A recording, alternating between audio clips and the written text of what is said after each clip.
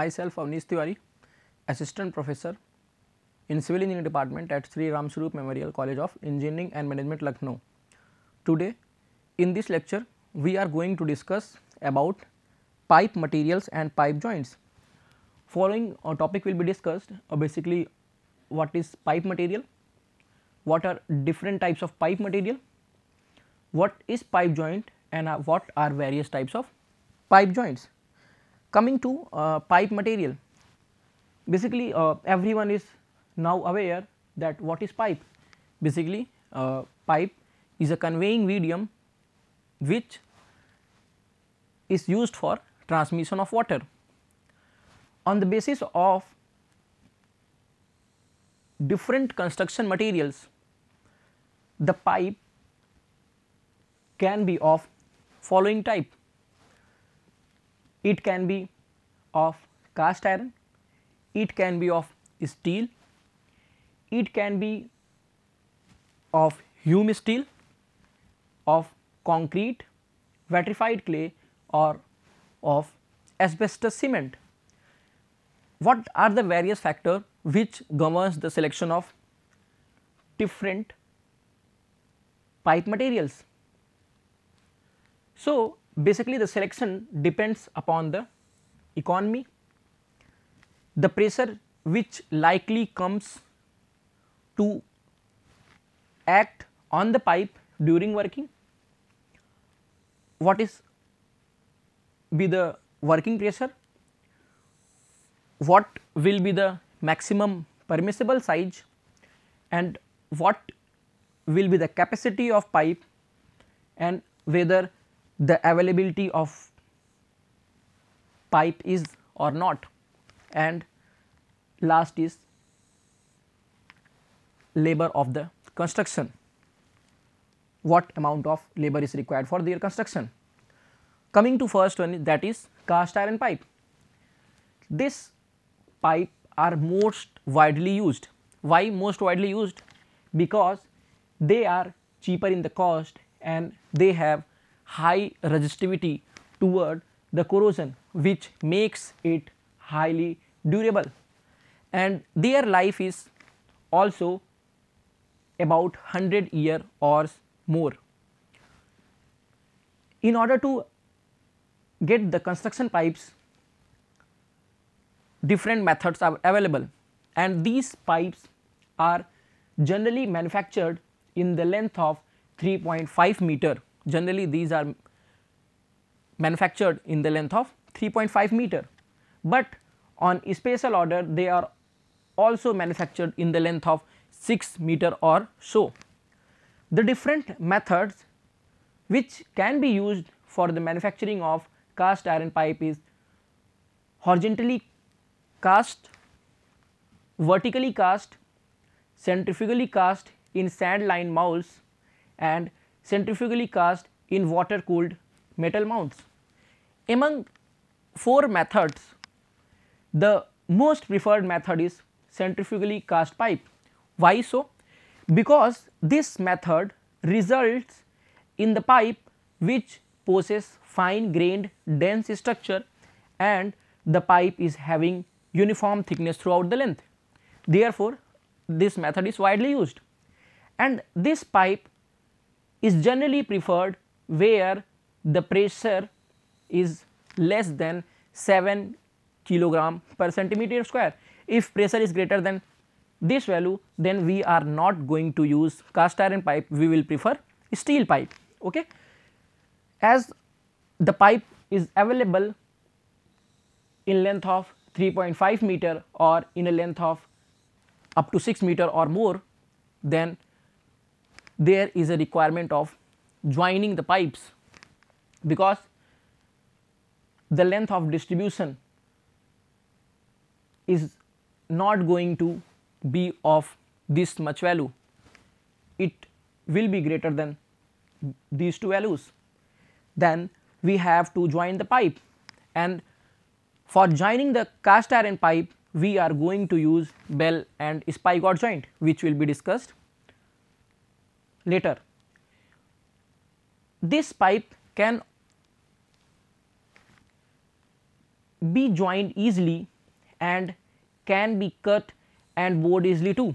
These are also advantages of cast iron pipes, but certain care should be taken during the transportation of pipe and during making the connection at joints. Why?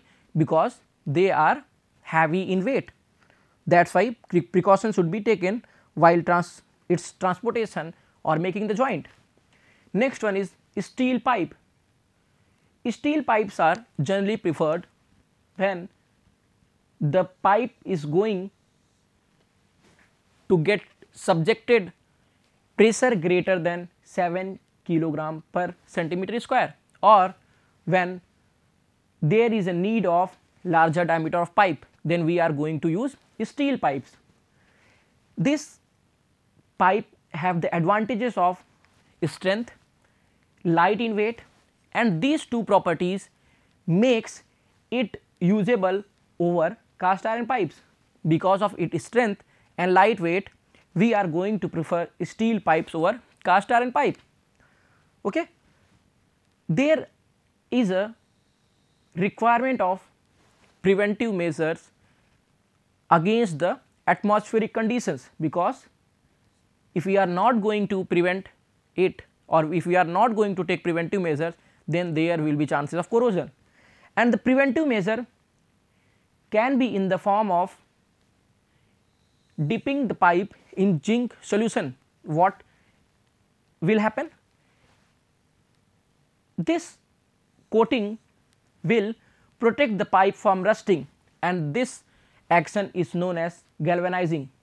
So, by galvanizing we are going to protect the steel pipe from rusting. The average life of this pipe is 25 years to 50 years. The average life can vary from 25 to 50 years. How can we join the steel pipes?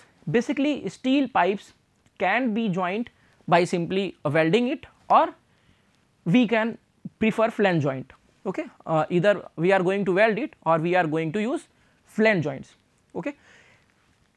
Due to less wall thickness as the thickness of steel pipe is very less they can easily pre pressed by external pressure. The external pressure is in the form of backfills or uh, traffic loads. What they are going to do basically they are just going to press it. And steel pipe is also comparative expensive with respect to other pipes. When steel pipes are encased in the cement mortar, so uh, this is steel hume pipe, steel hume pipe, what difference we are observing in these two figures that in this figure the steel pipe is encased in a cement mortar or cement concrete that encasing will be of cement mortar or cement concrete. The resulting pipe will be known as hume steel pipe Man, means when steel pipe are encased in cement mortar or cement concrete the resulting pipe will be of steel hume pipe. Okay. Next is concrete pipe. So, concrete pipe are expensive, but it is non-corrosive in nature. Okay. This comes under disadvantage and this comes under advantage thus concrete pipe is non-corrosive nature. They are also extremely strong and durable, they are strong as well as durable, but their weight is too much high. So, concrete pipes are bulky and heavy in nature that is why more cost have to bear in order to handle it, install it or transport it. And these pipes can be either reinforced or unreinforced. Unreinforced pipes are preferred for small diameter as well as reinforced and pre-stressed pipe are preferred in case of larger diameter pipes. okay when uh, we have to go for larger diameter then we will prefer reinforced pipe or pre-stressed pipe but when the requirement is of small diameter then we are going to prefer unreinforced pipe.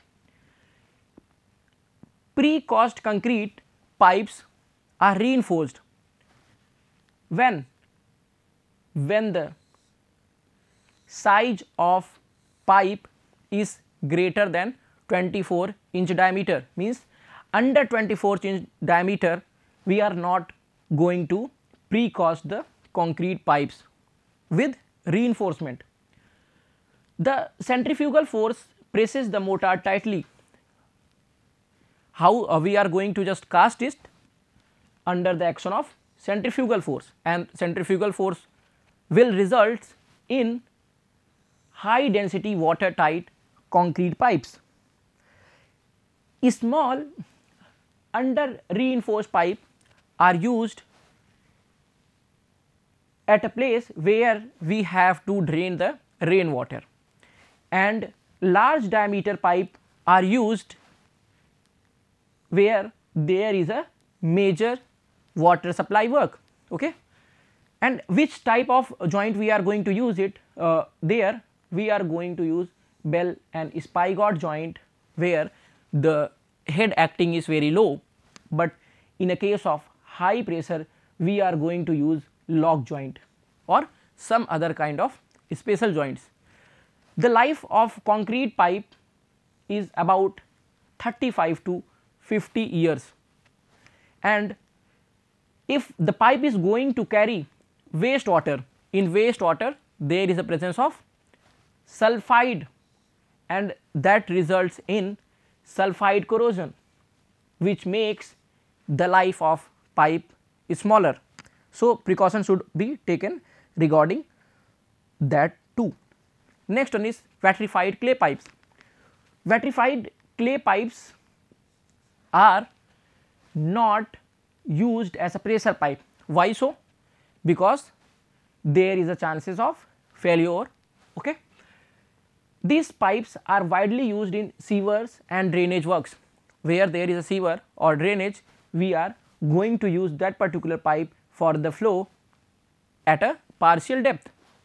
The main advantages of this pipe is that this is corrosion free, there is no chances of corrosion and it is also having a long life and the surface of this pipe is also smooth which makes it hydraulic efficient which makes it hydraulic efficient and this picture represents vitrified clay pipes. If uh, we are going to use it under pressure what will happen? Because of low strength in tension and difficulties of securing watertight joint, it should not be preferred at a point where there is a high pressure head. Which type of joint we are going to use in a case of vitrified clay pipes? The joint preferred is bell and spigot flexible compression joint. Okay? and this type of pipe is commonly made in a length of 3 feet, but in length of 2, 2.5, 4 feet can also be obtained.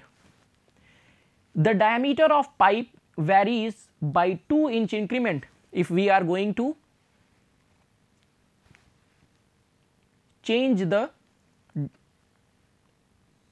diameter the variation should be like by 2 inch increment from 4 to 12 inches and by 3, uh, 3 inch on the increment of 12 inches. Next one is asbestos cement pipe. Asbestos cement pipe are basically made from asbestos that is a fiber, silica and cement. When we are going to compress these three ingredients under a pressure what will result there will be a dense homogeneous material and that pipe is having considerable strength. This asbestos fiber basically act as a reinforcement just like in, in um, reinforced cement concrete pipes the function which steel is going to serve there same function is served by asbestos fiber in asbestos cement pipe and this pipes comes under two different profiles. First one is that particular pipe will be with beading or it will be without beading and these two different profile can be seen from these two figures. One is the pipe with beading, another one is the pipe without beading. Okay. Where the pipe is used? The pipe is used basically for drainage of rainwater from the roofs, soil and wastage and also used for ventilation purpose. And this pipe is available in diameter of 4 to 36 inches and in 13 feet length and they are used at that point where the pressure acting is also low means under low pressure head. This pipe can be easily cut, can be taped, can be threaded for service connections and the hydraulic efficiency of asbestos pipe is also high. The pipe are soft from inside, the pipe is basically soft from inside that is why their performance is also better and there is no chances of rusting as there is not a use of steel. So, there is no chances of rusting, there is not a use of iron. So, there is no chances of rusting and they are also cheap as well. The principal defect in the pipe is that they are heavy. What is the defect? They are heavy as we are mixing asbestos, silica and cement and they can also easily breakable. So, these two are the basic defects in the asbestos cement pipe. Next one is PVC pipes that is plastic or polythene pipes. This pipe is having advantages of non corrosion. There is no chances of getting corrosion and they are also light in weight which makes its handling and transportation easy. Okay. So, they are also strong and comes in long length that lowers installation and transportation cost. They are also available in long length which makes it installation and transportation cost low. If the pipe is available in long length then the number of joint will be also low. This particular pipe is available in three different form. First one is unplasticized PVC which is basically used for carrying a cold water. Next one is plasticized PVC pipe in case of plasticized PVC pipe, the unplasticized PVC pipe is plasticized by addition of rubber. When rubber is added to unplasticized PVC pipe, then the resulting pipe will be plasticized PVC pipe. It has lower strength and low working temperature than UPVC pipe means unplasticized polyvinyl chloride pipe. Coming to next that is chlorinated PVC that is CPVC. These pipe are used at the places where the transmission of hot water is to be done and that temperature of hot water should be up to 120 degree Celsius. These pipe are basically joined with the help of thread joints or socket joints. They are light in weight, their cutting, bending and joining of the pipe is also easy at higher temperature its strength reduces. So, we have to only prefer CPVC pipe and under the effect of ultra radiations that results from sunlight there is a frequent change in temperature and the exposure of pipe to sunlight reduces the life of PVC pipes. These pipe are used in soil and wastewater discharge system and the thickness of pipe wall will be larger that of used for roof drainage. Okay. The pipe which we are going to use in case of soil and wastewater discharge, its thickness should be greater than the pipe which is to be used at roof drainage. This pipe have good resistance against electric current. They are costlier than AC pipe asbestos cement pipes, but cheaper than galvanized iron pipe. If we are going to compare it with different pipes, it was found that they are costlier than asbestos cement pipes and cheaper than galvanized iron pipe. Next one is copper pipe. Basically copper pipes are used to carry hot water or steams. They are having high tensile strength and also having very thin wall. They can also be bended easily. The bending of pipe is very easy. They are made in small diameter and it does not admit rust. There is no chances of rusting which makes it durable and this pipe are also coated with chromium. Why coated with chromium? In order to enhance its appearance. Coating with chromium enhance the appearance of copper pipe. Coming to next topic that is pipe joints. So, what are pipe joints? Basically pipe joints are the connection at pipe end that ensure two pipe sections can be jointed to each other to install a pipeline of any length. In order to get pipeline of any length what is needed just there is a need of connecting different pipes of different length okay and that pipe joints gives strength to the pipeline because longer pipeline section tend to bend. If we are going to use a single pipeline for example, this two are two different points. If we are going to use single pipe for the whole length, what will happen? There will be chance of bending, but if we are going to use the pipes in different sections, what will happen? The chances of bending reduces okay and the different pipe sections should be jointed at different points okay?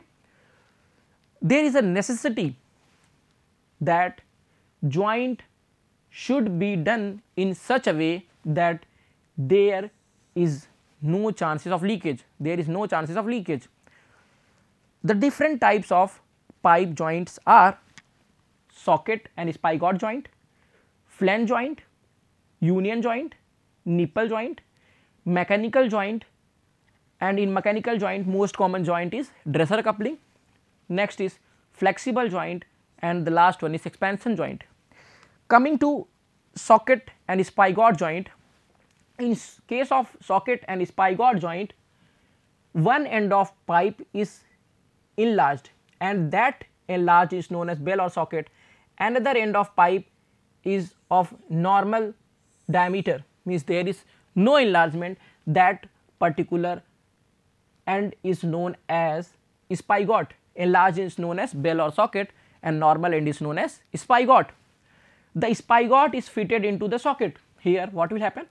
The spigot end is fitted inside the socket end. And the remaining space means that particular space the remaining space between the socket and spigot that is filled with molten lead. Molten lead used in order to fill the spaces. And when this molten lead gets solidified it results in watertight joints. Okay? Certain times uh, there is a also option that we are not going to use molten lead. We can also use compounds of sulfur and other material and as well as neat cement mortar. Only the difference is that in case of molten lead we are going to get flexibility flexibility at certain extent, but in this case there is result of rigid joint. There will be no flexibility.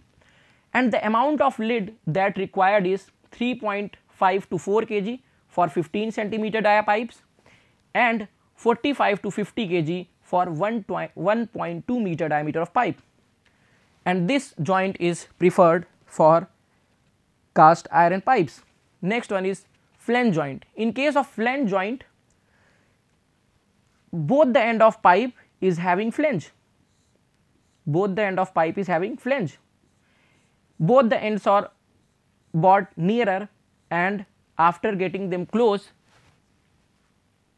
here we use a packaging that is rubber gasket and after getting the rubber washer in between these two flanges with the help of nut and bolt we are going to fix it. This particular joint are used at the location where it is necessary to occasionally disjoint the pipe and these locations can be pumping stations, filter plants and other similar location. Okay. In case of steel pipe to be joined flange are separately cast. In case of steel joint these flanges are separately cast and screwed down or welded at both end. Means the steel pipe is of normal end. Firstly we cast the we cast the flange and then we are going to fit it on the ends of a steel pipe. And this fitting can be done either by welding or with either by screw and the joints resulting are strong but rigid they are rigid. So, that particular joint should not be used at the places where there is vibrations or deflections and this joint is also expensive. So, this uh, basically shows the face view and this says the uh, shows the front view where these are the these are the flanges and there is a rubber washer and this is the bolt. Okay. So, uh, basically uh, remaining joints will be discussed in next lecture. Okay. Thank you.